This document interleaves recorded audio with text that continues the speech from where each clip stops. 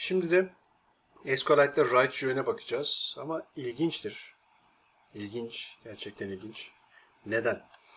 Ee, write join desteklenmiyor. Şimdi nasıl olduğuna bakalım.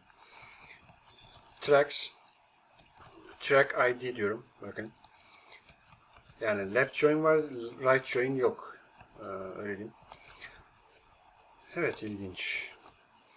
Ee, media types diyorum.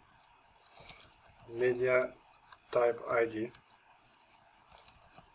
Media types name. Ee, sonrasında from tracks ve şöyle um, right join left'ti. Şimdi right join'i kullanacağım. Nasıl? Media types üzerinde. Media types tablosu üzerinde. Ondan sonra on tracks nokta media type id ve media types e, nokta media type id diyorum. Bakın bunu çalıştırıyorum. Right ve full order join açıklaması şurada. Uh, are not currently supported.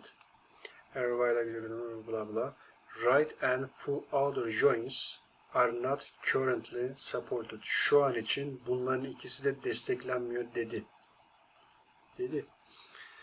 Ee, bu yüzden full order join ve right join demolarını yapamıyoruz ama sintaks olarak böyle. Yani bunun değişmesi mümkün. Değiş değişmez yani right ile left join aynı şeydir. Sadece şurayı right değil le- left yaptığın zaman left olur. Right yaparsan right olur.